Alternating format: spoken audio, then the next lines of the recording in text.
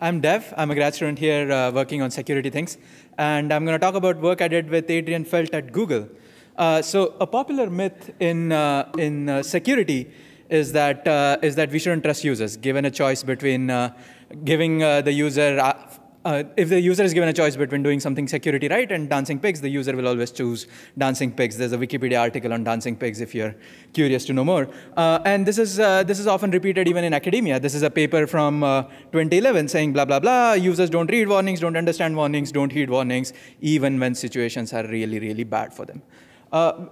And so the problem here is that all these, uh, all these uh, claims are based on uh, studies done on Internet Explorer 6 warnings. Uh, I don't know how many of you, you remember them, remember using them, but they were pretty ugly.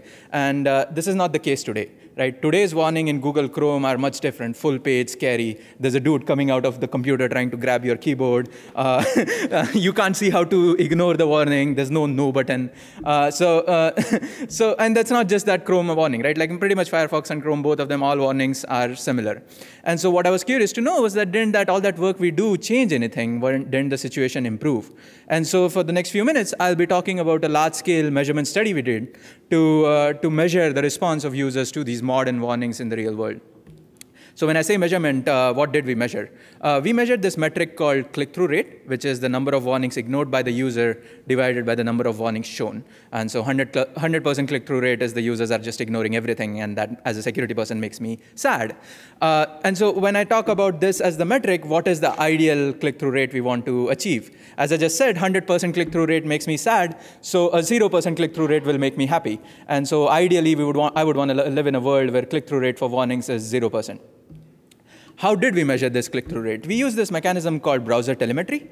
Essentially, the way it works is that uh, last year in May 2013, if you were using Chrome or Firefox, uh, you were running code involved in the study, and if you agreed to share data uh, with Chrome, uh, with Google or Mozilla, then, then your data was involved in the study. So roughly like 25 to 30 million warnings were involved in, uh, in the numbers that I'll be showing you next. So what did we find? Uh, I'll talk about quickly just two things, uh, the results we found for malware and phishing warnings, and the results we found for SSL warnings. Uh, first, the malware and phishing warnings. Uh, this is the click-through rate for Firefox and Chrome malware warnings. And this is the click-through rate for Firefox and Chrome phishing warnings. Uh, the first thing is that it's less than 25%. Uh, this was really surprising to me. Uh, I was expecting something like 85% or 80%, and, and the fact that it's less than a quarter is really nice, that, that users are kind of doing the right thing, and they're not always just like, screw these security people. They're, they're kind of listening to us, thankfully.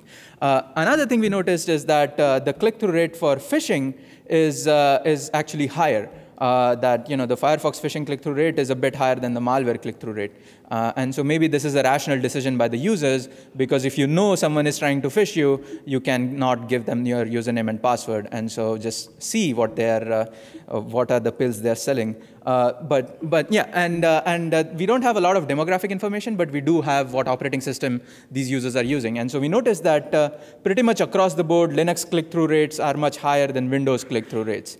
And so this leads to an hypothesis that uh, a greater degree, the more skilled, the more elite you are, uh, the more likely you are to do dangerous things if Linux corresponds to more technical skills. And that, that actually I've seen in like pretty much every talk I've given in CS departments, everyone says I click through all the warnings. So, so, so maybe that is true. Uh, the next thing I'll talk about is what we saw for SSL warnings. Uh, this is the click-through rate for Firefox, 33%, and uh, nearly 70% for Chrome SSL warnings. Not very good for Chrome uh, right now.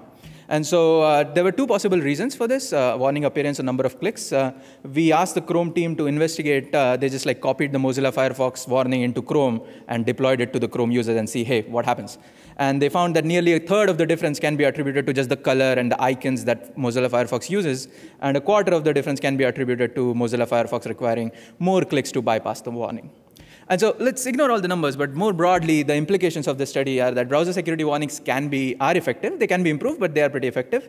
And uh, we can have impact on user behavior if we, if we think about how we design warnings. And, uh, and as security practitioners, we should just not ignore the user completely. The user al almost always want to, uh, probably wants to do the right thing when it comes to security. Uh, thanks a lot for listening. I'm Dev. My website and everything is on the slide. Thanks a lot. Thank you.